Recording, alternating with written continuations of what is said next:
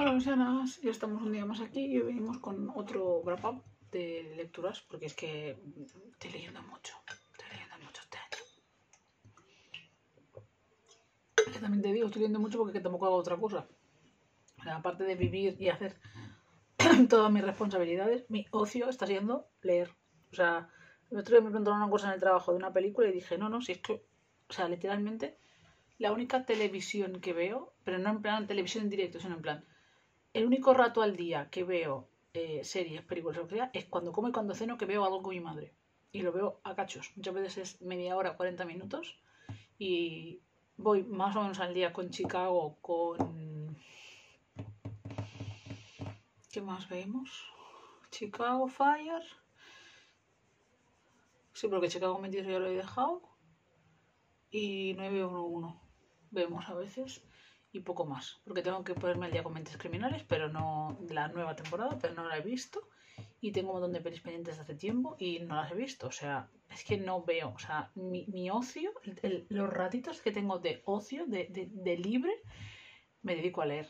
O sea, todo lo que no estoy haciendo, que es trabajar, YouTube, la casa, el perro y de vez en cuando socializar, es leer. Pero bueno, que no es una queja, ¿eh? Que no es una queja en ningún caso.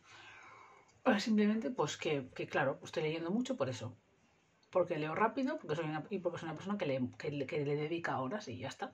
Y bueno, otro wrap porque ya tengo otro montón de libros de los que tengo que hablar. Eh, empezamos. Ay, madre mía. El primer libro del que vamos a hablar es Birthday, Birthday Girl, de Penelope Douglas. Y este libro fue una decepción.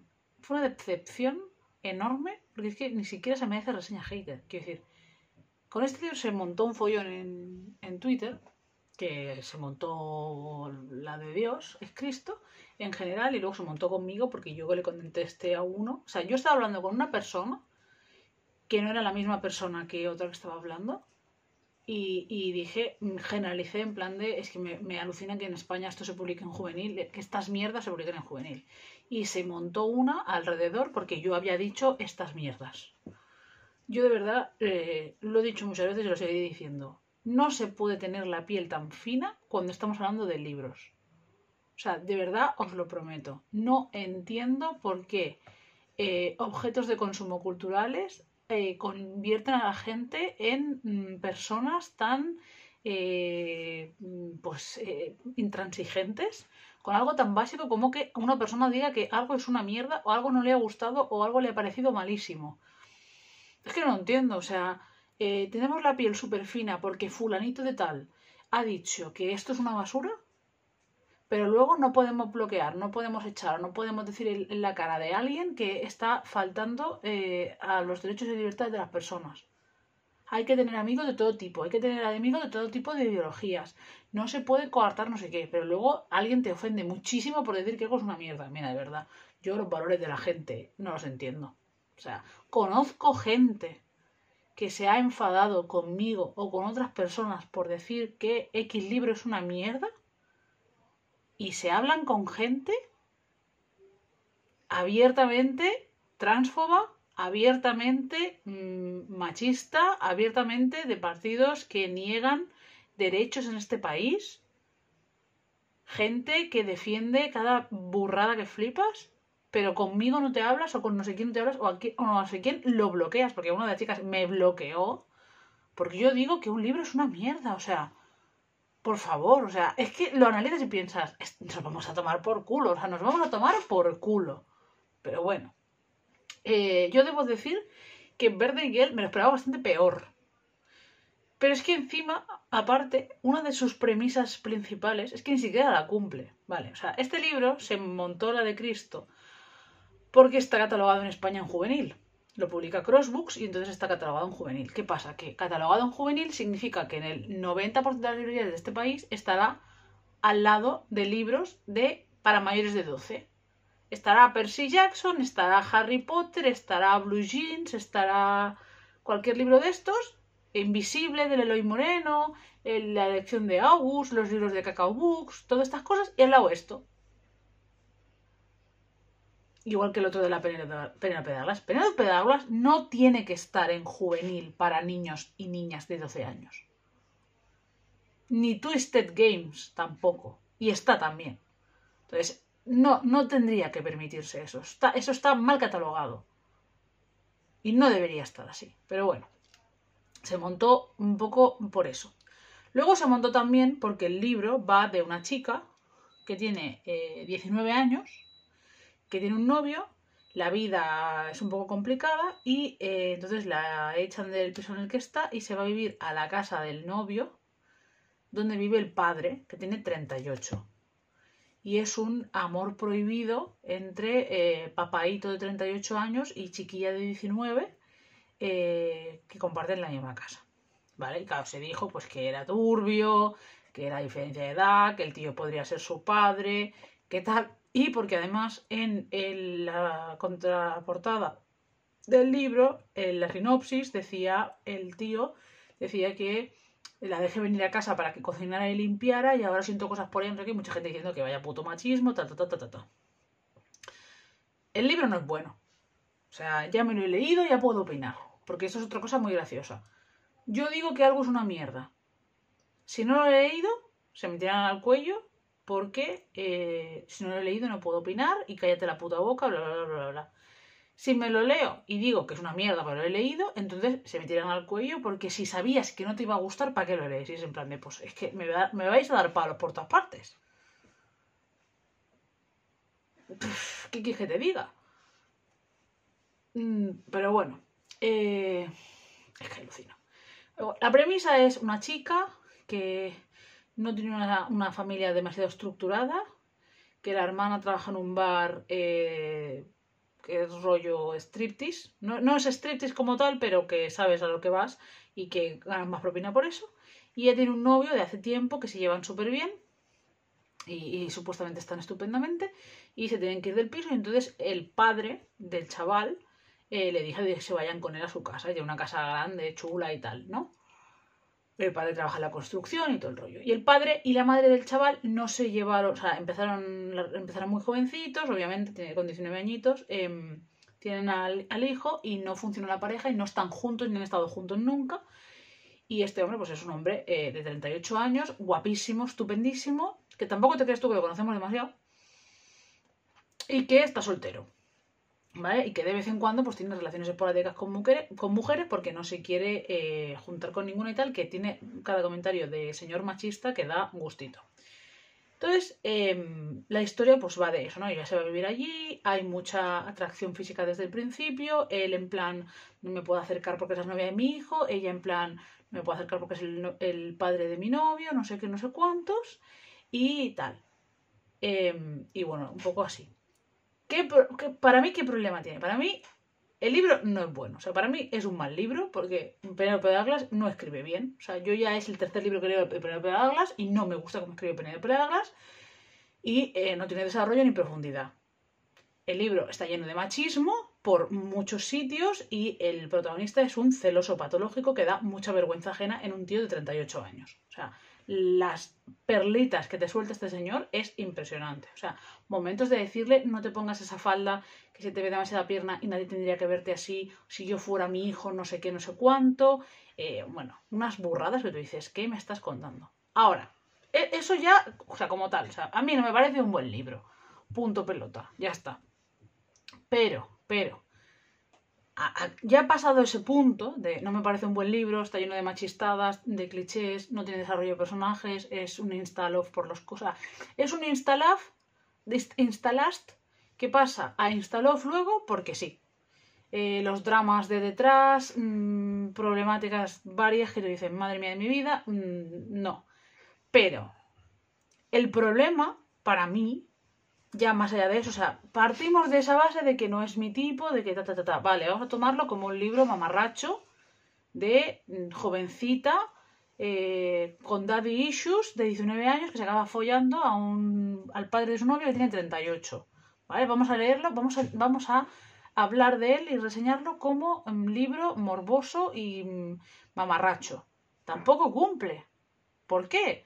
Porque no existe la relación prohibida en el libro. En el momento en el que se, follan, que es casi al final, y las escenas de cama es que son dos y son mediocres, ella ya no está con el hijo. Entonces, ¿dónde está el morbo? ¿Dónde está el mamarracheo aquí? Es que es de risa.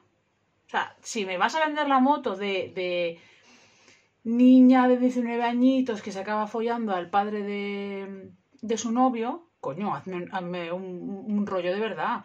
Un rollo de que ella está con el novio, el novio es un cachopán, el novio es un tío muy majo, el novio es un no sé cuánto, y tú te estás follando al padre y por la noche te escabulles de la cama con la que duermes con tu novio para follarte al padre y por la mañana te levantas no sé qué y, hacéis no sé cuánto en la cocina y luego te va a buscar al trabajo y lo, lo, lo, montáis en el coche.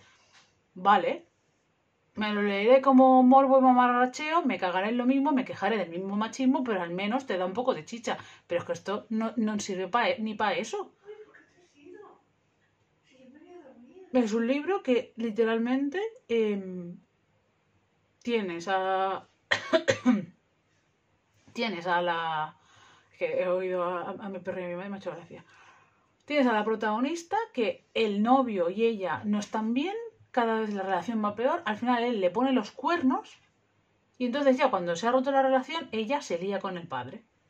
Y es en plan de, pues es que esto, ni relación prohibida, ni, ni niño muerto.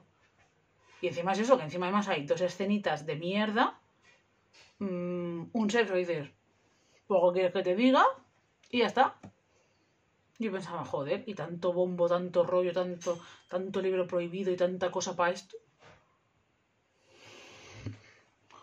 Es verdad que no es tan problemático. O sea, es verdad que eh, una chica me contestó em, que yo la malinterpreté le pedí disculpas y luego hablamos tranquilamente. Me contestó que este libro era de los que menos problemáticas tenían de Penelope Pegalas y tiene razón. Comparado este con el de Bully o con el del anterior, este muchísimo mejor. Pero es que ni siquiera dice lo que cumple lo que promete. Ella es demasiado joven para un amor como ese.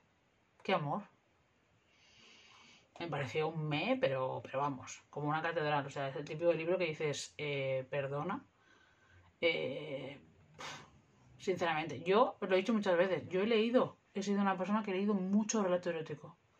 Mucho, desde que tenía como 15 años. Siempre me ha gustado más eso que el porno. O sea, y, y leo porno también pero siempre me ha gustado más. Y he leído de todo.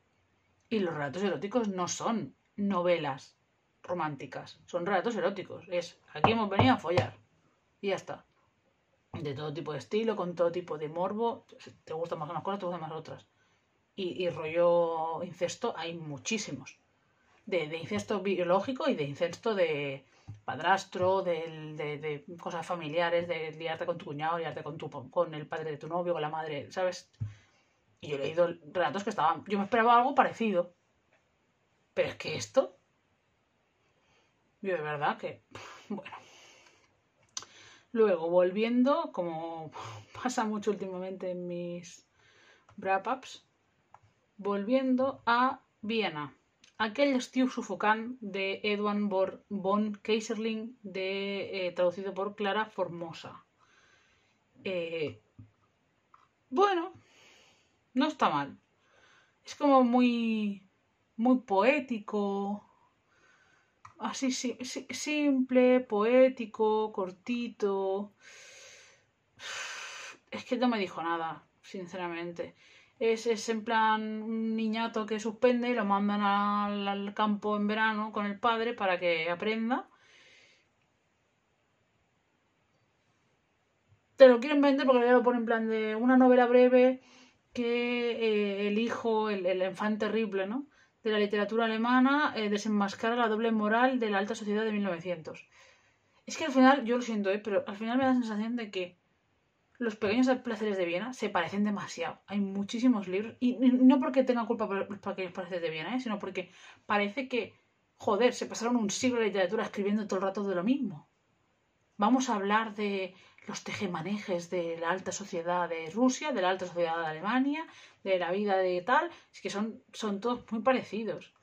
Y no está mal, y, habla de eso precisamente, de la sociedad y de las convenciones y de, de la doble moral y el doble rasero y demás, y desde una perspectiva más juvenil y, y viendo la realidad de otra manera y viendo cómo con el padre son prácticamente extraños.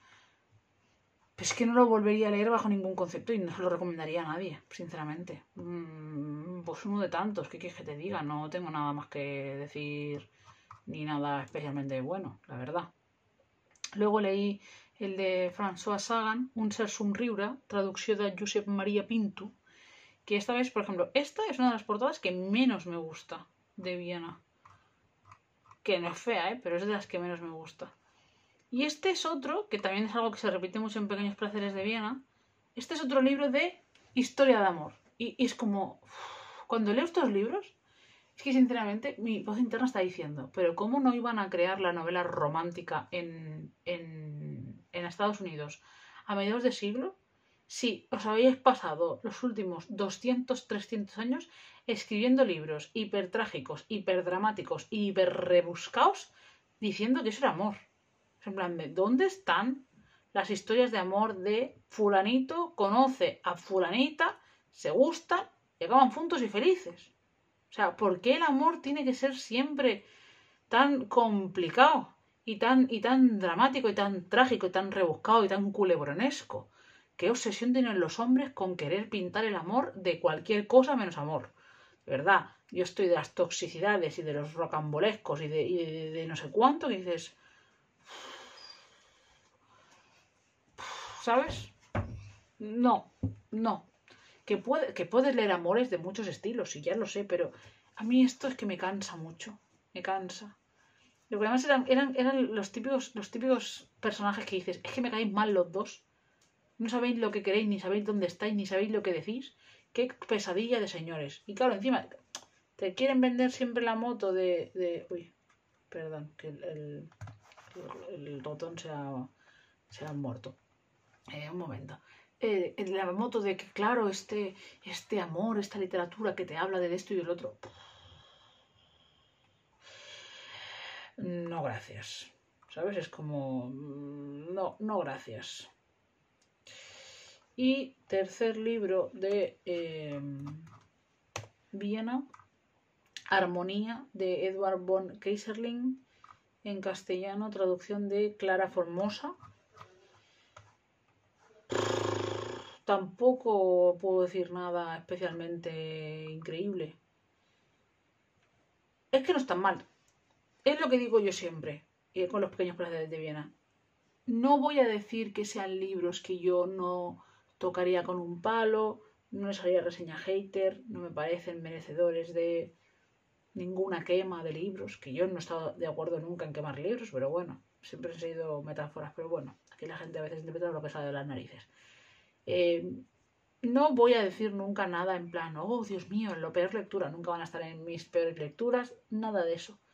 Pero son libros que no me terminan de convencer, no me parecen historias que me hayan marcado bajo ningún concepto y que además en muchos casos son historias muy parecidas, muy repetitivas, con el mismo tipo de personaje, el mismo tipo de mensaje, que se van siempre un poco a lo poético y a lo, y a lo oh, oh, como, como la vida, y que sinceramente es que no me aportan absolutamente nada, ni me vienen a decir absolutamente nada diferente.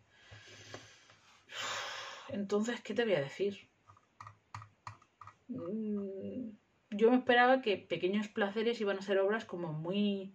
Por ejemplo, el del, el el baile de Anemirovsky, entiendo por qué es un pequeño placer. El de Chekhov, del reto desconocido, entiendo. Pero hay muchos de estos que dices, ¿qué quieres que te diga? ¿Sabes? No sé.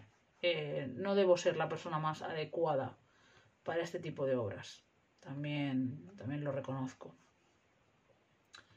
Luego, otra autora que últimamente sale muchísimo en mis eh, wrap-ups y va a seguir saliendo.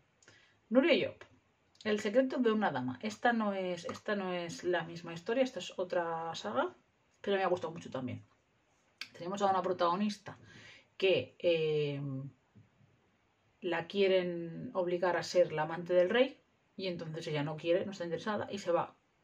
Y se hace pasar por otra mujer y entonces se va a, con la ayuda de, la casa y demás, se va a estar con, con una amiga, una conocida, digamos, que la ayuda, se hace pasar por otra persona, se finge que se casa con uno y obviamente se enamora con ese con el que finge que está prometido con una mujer en Italia Y se me ha encantado. Es que me ha gustado muchísimo porque ves eh, la parte de la realeza, de la corte de Madrid, la situación de la mujer y demás. Ves a un montón de personajes femeninos súper geniales. Ves una historia también, además, de, de venganza y aristocracia y chanchullos y tal. Y un romance súper bonito entre ellos. Las escenas de cama me han encantado. Y, y, me ha gustado mucho cómo, cómo se desarrolla. O sea, me lo estaba leyendo y, y no quería parar de leer. Y, y, eso es algo que me encanta de Nuria Job y que estoy disfrutando mucho sus, sus libros. Porque es como, tío, eh, lo hace muy bien. Lo hace muy, muy bien. Y estoy muy contenta. Que por cierto, Nuria Job también escribe eh, contemporánea y quiero leer algo de contemporánea, a ver si en contemporánea es un sí o es un no. Pero de momento estos libros me parecen una fantasía, de verdad. O sea, el secreto de una, dama, de una dama me ha gustado tanto, que por cierto, no sé si os, lo he dicho más de una vez, pero va a sacar ahora eh, Nuria y yo, bueno, están ya eh, saliendo las eh, reediciones eh, en físico y en papel de la trilogía del siglo de oro. Y eh, para mí es un sí, ¿eh? Es un sí, o sea, recomendación 100% neusiana, o sea, de verdad, no os lo perdáis. Son libros, de verdad. O sea, si os gusta más o menos lo que me gusta a mí, es un sí. Es un sí que todo viene en la vida. Luego, que he cerrado esto porque soy así de feliciana. Uy, ya llevamos ya 20 minutos, madre mía.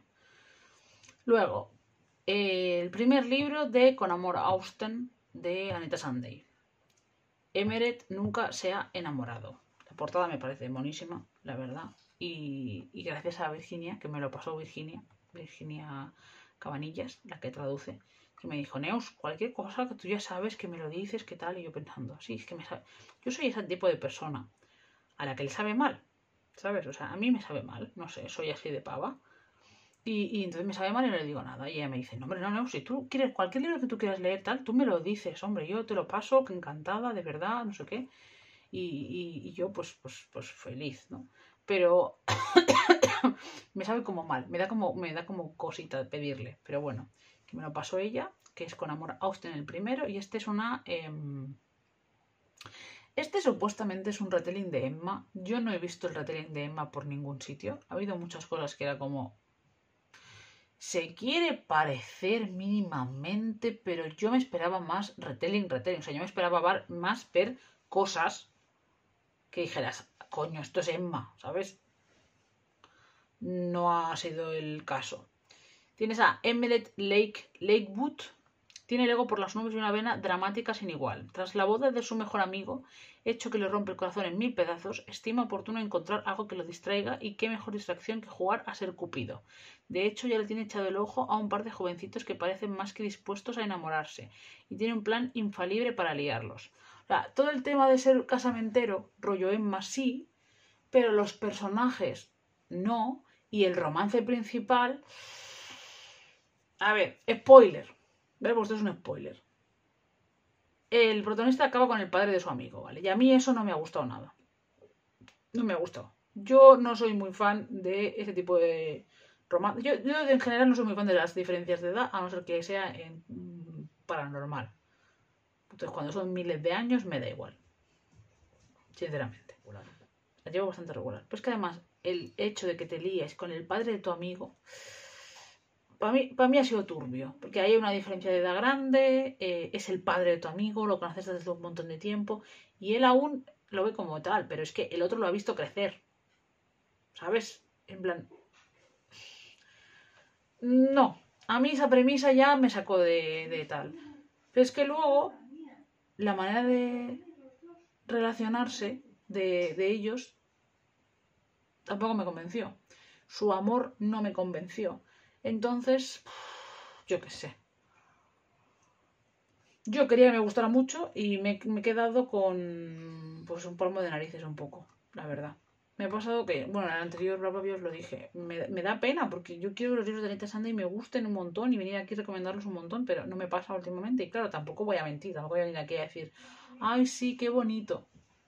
Pues si no me ha parecido, ¿qué hago? Entonces, bueno, eh, pues eso que ojalá, voy a seguir leyendo Anita Sunday y voy a seguir dándole oportunidades y voy a seguir probando y estoy segura que igual encuentro otros que me gustan más, ¿eh? pero este no ha sido el caso. Y luego por fin leí, que hacía mucho tiempo que lo quería leer, Estados Unidos de Japón, de Peter Tiera, Tierias, que se considera algo así como una segunda parte de eh, una segunda parte o un libro relacionado con El hombre en el castillo. Sí, de Man in, de Man the High Castle, de Philip K. Dick, la ucronía de los nazis ganando la guerra, pues esto es, es lo mismo. Em, y claro, yo iba como con mucho interés porque ese libro me gusta, me gustan mucho las ucronías, me gusta mucho todo este tema y además encima de Estados Unidos, de Japón, rollo mecas y todo esto, pues dije, oye, pues puede estar guapo. Me ha parecido aburridísimo, pero nivel de decir, eh, ¿qué cojones? O sea, la premisa me parece muy buena, pero el desarrollo, del libro me ha parecido bastante malo.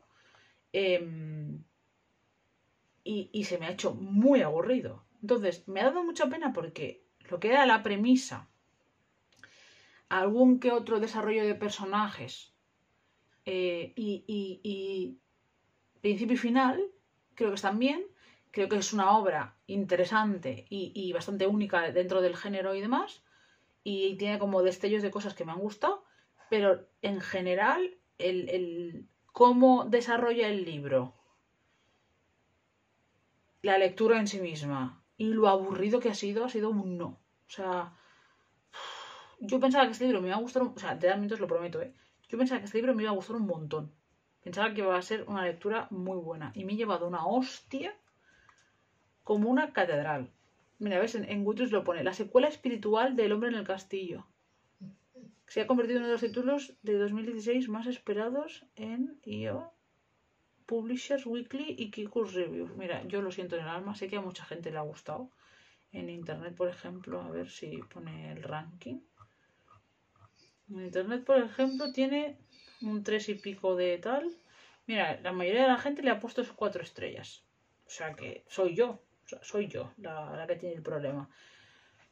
Pero es que no ha sido para mí, no ha sido para mí, lo siento. Eh, no he conectado nada con este libro. Yo quería que me gustara, eh, tenía fe en que me iba a gustar un montón, pero me comí una mierda como una catedral. Sinceramente, me da pena, pero es que ha sido como, pues bueno, eh, pues, pues, muy, pues muy bien. Y bueno, ¿qué le vamos a hacer? No sé si releerlo más adelante, no sé si es que me ha pillado en un mal momento, no sé si... no lo sé. ¿Alguien ha leído ese libro? Porque me gustaría hablar con alguien de ese libro, la verdad, porque me quedé un poco así. y para terminar este vídeo, y así ya pues eso, eh, Adiós a las armas de Hemingway. Yo tengo que reconocer que este libro había leído trozos en la carrera. Leímos trozos de, esta, de esto igual que leímos trozos de Por quién dobla las campanas y leímos trozos de Homenaje a Cataluña y leímos trozos de muchas cosas, la verdad. Eh, yo, me hace mucha gracia siempre cuando salen los típicos vídeos estos de lo que tiene que leer una persona para estudiar medicina en cuatro años. Y te ponen lo típico de dos metros de papeles ahí, ¿no? En plan de, wow, nosotros tenemos que leer muchísimo. Y es en plan de, yo no niego que la gente que estudia X mil cosas tenga que leer muchísimo. Pero ¿tú de verdad te piensas que una carrera de letras no tienes que leer mucho? Yo para humanidades tuve que leer, no te puedes imaginar, pero para periodismo lo mismo. Yo había semanas que es que no leía otra cosa, no leía libros de estos, porque solo, solo podía dedicarle el tiempo a leer cosas para, para la carrera. Para las carreras, además, que yo hacía dos. Yo, llegué a leer de libros y de, y de mm, tochales aquellos que te ibas a comprar a la, a la mm, secretaría. El, ponme el, el, 1, el 3, el 27 y el 29. Venga, no sé cuántos euros. Allí, madre mía de mi vida. Y pedir libros a la biblioteca, y pedir libros a la biblioteca de la uni, y pedir libros entre bibliotecarios de no sé dónde. Anubis, ¿qué haces? ¿Eh? Se está tocando y no sé qué estaba haciendo. Pero bueno, eh, yo qué sé. Yo recordaba, o sea, cuando lo estaba leyendo recordaba. Me ha gustado, me parece una obra interesante, pero me pasa un poco como con el anterior. No, este no me aburrió tanto, pero me, me, ha dado pena porque me esperaba más. O sea, yo, Adiós a las armas de Hemingway, pensaba que iba a ser un libro que me iba a conmover mucho, ¿no? Que me iba, que me iba a hacer llorar, que me iba a conmover, que me iba a hacer pensar un montón. Y ha sido bastante como en plan de, pues eso, adiós a las armas, en plan antimilitarista, pero como muy básico, como muy obvio todo Y, y los personajes tampoco me han parecido especialmente atrapantes. Yo leía esto y pensaba, tal, claro, luego lees, yo leía Almudena Grandes, leía el de Cordelia de los exiliados, leí otras cosas que he leído y pienso, que claro, esto al lado de lo otro no me ha conmovido absolutamente nada. No me ha, no me ha atrapado, no me ha destrozado, no me ha compungido, que se dice, nada. Entonces, yo sé, es que igual soy yo, pero yo me esperaba un libro como mucho más eh, sensible, como mucho más emocional, de decir, hostia puta, adiós a las armas, o sea, ya está bien de tanta guerra, de tanta mierda. Pues sí, pero yo qué sé, bastante sin más. Y me da pena, la verdad. Pero bueno, te voy a decir, es que no te puedo decir otra cosa. 3, 4, 5, 6, 7 y 8. Bueno, pues 8 libros. Ya para la siguiente vez hablamos de otros cuantos más, porque es que si no, no me da la vida. Ay, espero que estéis bien. Y nada, como digo yo siempre, hazte delante de sangre y le metes la segunda gente, mándame el tiempo y ponnos en tu vida y serás más feliz. Y ponerme abajo que ha sido lo mejor que habéis leído desde el último wrap que mm, hicimos hasta este. Tengo que hacerle caso al perruncio. Y si habéis llegado hasta aquí, sabéis que poner, poner, eh, mira, poner eh, emoticonos de perruncio. Míralo, míralo, míralo, míralo, míralo, míralo, míralo. Si es que tiene una cara preciosa. Hola, precioso. Hola, ¿qué te pasa? Te sales de plano, ¿no? ¿Qué te pasa, mi amor? ¿Qué te pasa? Guapo. Ahora voy contigo. Nada. Eh, eso te pasa. Que salir de la cámara, que sí. Ah, que sí. Ah, que sí. Hola, precioso. Hola, mi amor. Hola. Hola. Hola, precioso. Hola. Hola. Pues eso. Que nos vemos en el próximo vídeo. Os quiero mucho. No.